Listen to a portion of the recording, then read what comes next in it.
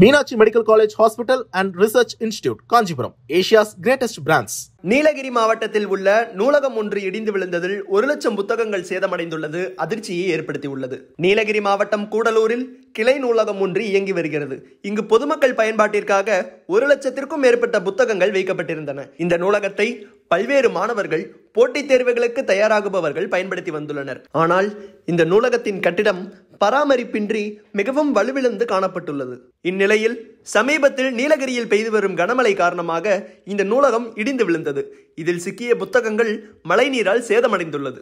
இந்த காட்சிகள் சமூக வலைதளங்களில் வைரலானதை அடுத்து இடிபாடுகளில் சிக்கிய புத்தகங்களை மீட்க நகராட்சி பணியாளர்கள் நடவடிக்கை எடுத்து வருகின்றனர். அறிவுக்கோவிலாக கருதப்படும் நூலகங்கள் மிகவும் முக்கியத்துவம் வாய்ந்தவை என்ற நிலையில் கட்டிடம் சிதிலமடையும் வகையில் அதனை பராமரிக்காமல் இருந்த அரசு நிர்வாகத்தின் அலட்சியமும் எந்த நடவடிக்கையும் எடுக்காமல் இடிந்து விழும் வரையில் வேடிக்கை பார்த்து கொண்டிருந்த அதிகாரிகளின் அஜாக்கிரதையும் கண்டனத்திற்குரியது என்று சமூக ஆர்வலர்கள் தெரிவித்துள்ளனர். நூலகத்திற்காக உடனடியாக புதிய கட்டிடம் கட்டி மீட்கப்பட்ட நூல்களை அந்த இடத்திற்கு மாற்ற வேண்டும் என்று வேண்டுகோள் விடுத்துள்ளனர். சமீபத்தில் ஈரோடு புத்தக கண்காட்சி தொடக்க விழாவில் புத்தகங்களின் முக்கியத்துவம் குறித்து பேசிய முதலமைச்சர் ஸ்டாலின் அனைவரும் வீட்டில் ஒரு சிறு நூலகம் அமைக்க வேண்டும் என்ற அண்ணாவின் கனவை வலியுறுத்தியிருந்தார் இந்த நிலையில்தான் பராமரிப்பின்றி நூலக கட்டிடம் இடிந்து விழுந்துள்ளது குறிப்பிடத்தக்கது.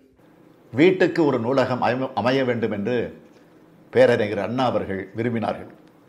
அப்படி அனைவரும் தங்கள் வீட்டில் சிறு நூலகமாவது அமைத்திருக்க வேண்டும்.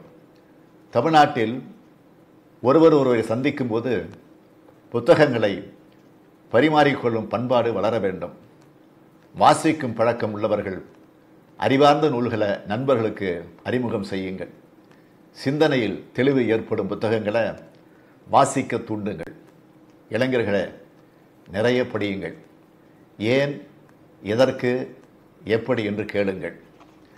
ஒரு செய்தி உங்களை வந்தடைகிறது என்றால் அதனை உடனே முழுமையாக நம்பிவிடாதீர்கள்.